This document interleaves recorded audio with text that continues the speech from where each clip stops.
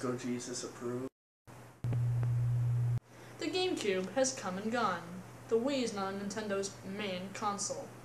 But we go way back into the library of the GameCube for one of the most rarest genres, A good first-person shooter for the GameCube. TimeSplitters 2.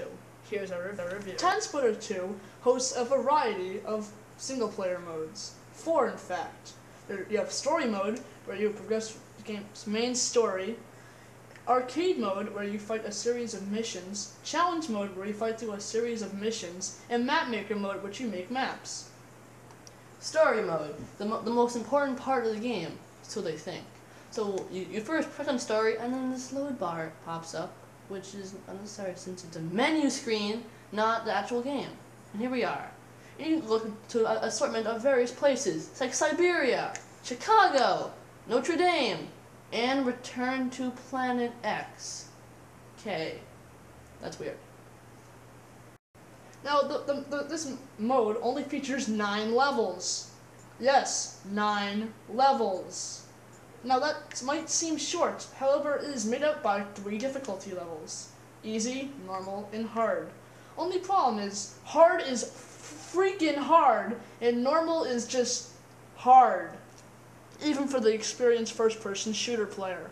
The story mode also features a co-op mode with, for two players, although the not, the game does not get significantly easier because there's limited su- supplies and ammunition.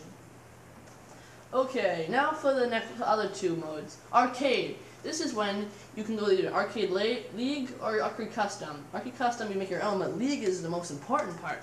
You have three leagues, Amateur, Ordinary, and Elite. Click on one, and limited missions pop up, which you can either get a, a gold, silver, or copper or elite medal.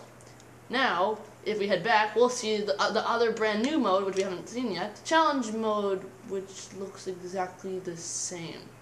How can you tell a difference? I'll give you a hint. The only way to tell are these tiny words on the top left-hand corner. Recording. Finally, we've come to our last mode in single person. This is called the Map Maker, and in it you make maps. Here's one that we made earlier. Now, it's extremely free form and extremely powerful, as you can see all of these different options. It utilizes a bar system where the amount of things you can place down is based on the amount of light left in this bar. But the thing about this that I have to say is wow, it's so powerful because of the tiles and items and light, story enemies, game logic you can put down.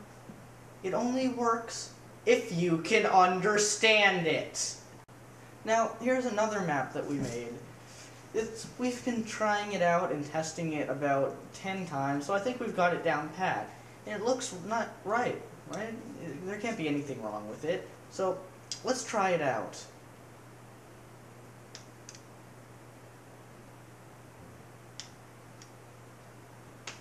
More waiting.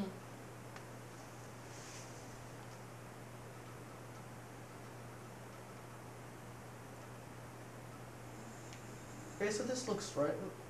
Where are we? what? Is there a way out of here? Why am I on the bottom of a pit? It's been 10 hours! Despite challenge and arcade similarities, the arcade mode in multiplayer is where this game really shines. It features many different it's many different modes, three different difficulty levels, tons of playable characters, tons of guns, tons of modes as you can see here, which, we still didn't fully get into. Such and plenty of features as you can see here which are separate than the actual single player modes. Tons of customization such as time limits, tons of weapons from this long list really makes this game shine from other first-person shooters who really would not have such a diverse amounts. And then, then the, the just oodles and oodles of possibilities. Whether it's a whole bunch of robots, zombies, good guys, and bad guys. This game has lots of legs and can be seen play. You can play it for hours at a time and still want to come back for more. This game's crossbow has a very useful feature. If you shoot it into something, you can retrieve it. It also applies to the fact that it will stick out of people when you shot, even your partner, though you can't retrieve the bullets from them.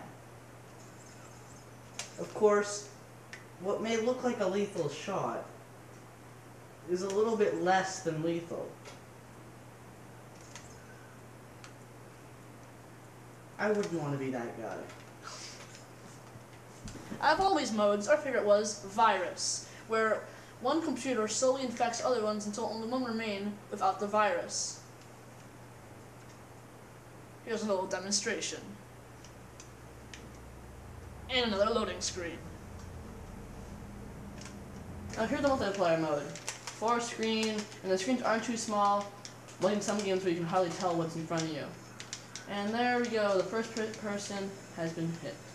This being touched in virus mode makes you infected, so it's not only killing people, but it's trying to touch them. And that's and there's so many diverse modes in this game. And so many weapons. Like these remote mines. The controls are spot on. The camera work is just functioned by moving the C stick in the direction you want the camera to shoot. An R is to shoot. These control these controls after a little while fit perfectly with the game.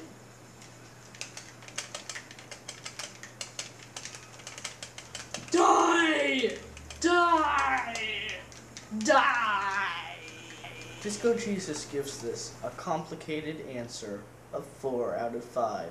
Hope you can understand. 1. One, Hope you Two, three, four, player GameCube game.